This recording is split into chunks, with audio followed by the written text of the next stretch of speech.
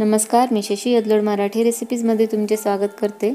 आज आपण बासुंदीची रेसिपी पाहणार आहोत. सध्या श्रावण महिना चालू आहे तर बरेच जण महिनाभर देखील एक टाईम जेवण करून उपवास करतच असतात. तर अशा कंडिशनमध्ये बासुंदीसारखे पदार्थ देवाला नैवेद्य म्हणून दाखवता येईल. त्याबरोबरच उपवासालाही असे पदार्थ खाल्ल्यास शरीरातील एनर्जी टिकून राहण्यासही मदत होईल. इथे मी एक लिटर फुल फॅट मिल्क घेतलेला आहे. गॅस चालू करून गॅसवर पॅन ठेवण्याच्या आधी पॅन आपण ओलसर करून घेतलेले आहे. कारण या पद्धतीमुळे दूध तळाशी न लागता दूध करपणार नाही. दूध टाकून झाल्याच्यानंतर आपल्याला इथे हाय फ्लेमवर दूध आटून घ्यायचं आहे. दूध टाकून झालेलं आहे. गॅसचा फ्लेम मी मोठा करून घेतलेला आहे. व सतत मोठ्या चमच्याच्या साह्याने दूध आटून घ्यायचं आहे. दूध सतत आटत असताना आपण इथे पॅनच्या साईडला चिकटलेले दूध देखील खरवडत राहायचे आहे. जेणेकरून दूध आटवताना बासुंदीला करपट असा वास येणार नाही. तसेच ज्या पद्धतीने आपण सतत दुधाला ढवळत आपण बासुंदी बनवली आहे ना अगदी त्याच्या उलट रबडी बनवली जाते. रबडी बनवत असताना दुधाला सतत न ढवता मंद गॅसवर दुधाला साय बांधली की दूध ढवळत राहायचे आहे. मात्र दूध ढवळत असताना परत गॅस मोठा करत व नंतर मंद करून साय बांधली की दूध ढवळत राहायचे आहे.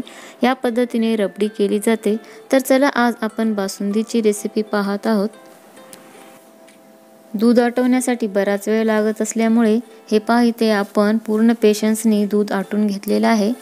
आता या आटून घेतलेल्या दुधात आपण चार टेबलस्पून इतके साखर टाकून घेऊयात.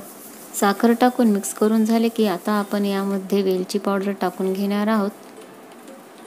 वेलची पावडर टाकल्यामुळे बासुंदीला एक छान फ्लेवर मिळेल म्हणून आपण इथे वेलची पावडर टाकून घेत आहोत.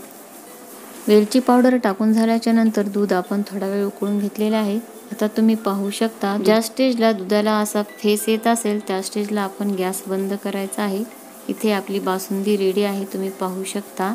आता मी इथे गॅस बंद केलेला आहे. कारण थंड झाल्याच्यानंतर देखील बासुंदी परत घट्ट होईल म्हणून या स्टेजला आपण इथे गॅस बंद केलेला आहे. आता आपण बासुंदी हलकी थंड झाल्याच्यानंतर बाउलमध्ये काढून घेतलेली आहे. तुम्ही पाहू शकता. बासुंदी हलकी थंड झाल्याच्यानंतर देखील आपल्याला पातळ अशी दिसत आहे. बट इथे आपण पूर्ण थंड केलेली बासुंदी पाहिल्याच्यानंतर लक्षात येईल की बासुंदी आपली व्यवस्थित तयार झालेली आहे. प्रसाद म्हणून देखील आपण या पद्धतीने बासुंदी तयार करू शकता. खूप सोप्या पद्धतीने आपण दुसरे कामे करत करत देखील आपल्याला बासुंदी बनवता येईल. खूप सोप्या पद्धतीने बासुंदी आपण बनवलेली आहे. इथे मी मिक्स ड्रायफ्रूट्स टाकून बासुंदी डेकोरेट केलेलं आहे तुम्ही पाहू शकता. हे पाहता इथे आपण पूर्ण थंड झालेली बासुंदी पाहत आहोत. तुम्ही पाहू शकता पूर्ण थंड झाल्याच्यानंतर बासुंदीचा टेक्स्चर किती सुरेख दिसत आहे. या पद्धतीने आपण बासुंदी बनवलेली आहे. इन्स्टंट बासुंदी तयार करताना दुधामध्ये आपण मावा टाकून घेतल्यास देखील आपल्याला पटकन बासुंदी तयार करता येते. पण इथे आपण पूर्ण दुधाचाच वापर करून बासुंदी बनवलेली आहे. सध्या श्रावण मास चालू आहे तर उपवासाला देखील एक हेल्दी ऑप्शन म्हणून अशी बासुंदी तुम्ही नक्की ट्राय करून पहा. तर चला आपण दुधापासून आता बासुंदी बनवलेली आहे. याआधी देखील आपण इन्स्टंट अशी रवा खीर देखील दुधापासून बनवलेली आहे. त्याची लिंक मी या डिस्क्रिप्शन बॉक्समध्ये तुम्हाला देणारच आहे. त्यापूर्वी ही रेसिपी तुम्हाला कशी वाटली मला कमेंट करून कमेंट बॉक्समध्ये कळवायला विसरू नका. तसेच उपवास नसताना देखील कोणी पाहुणे आल्यास आपल्याला पुरी आणि पराठ्यांबरोबर पोळीबरोबर देखील आपल्याला अशी बासुंदी सर्व करता येईल. आतापर्यंत ज्या रेसिपीज मी तुमच्यासोबत शेअर केलेल्या आहेत अपलोड केलेल्या आहेत त्यापैकी तुम्हाला कोणती रेसिपी सर्वात जास्त आवडली आहे हे देखील मला कमेंट करून अवश्य कळवा. मी आत्तापर्यंत ज्या रेसिपी अपलोड केलेल्या आहेत ना त्या अगदी परफेक्ट झालेल्या आहेत. तरी देखील तुम्ही ट्राय केल्याच्यानंतर तुम्हाला काही शंका असतील तर मला कमेंट करून नक्की कळवा. तर मी नक्कीच तुमचे शंका दूर करण्याचा प्रयत्न करीन. तर चला अशा छान रेसिपीसाठी एक लाईक अवश्य करा.